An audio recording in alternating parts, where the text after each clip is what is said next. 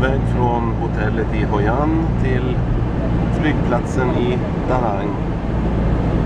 Klockan är snart nio på förmiddagen och vi har ätit frukost och åker här i vår buss mot flygplatsen. Så åker vi över någon älv som vi inte vet vad den heter, eller flod kanske till och med. Och det är väldigt gott om eh, motorcyklar och vespor och mopeder och allt vad det är. Det slut på sanden i alla fall.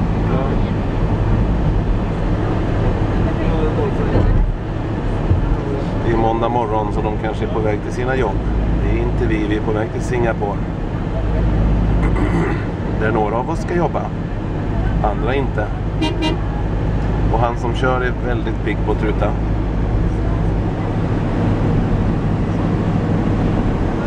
Det är tutan hela tiden. Ja, tack och hej för nu.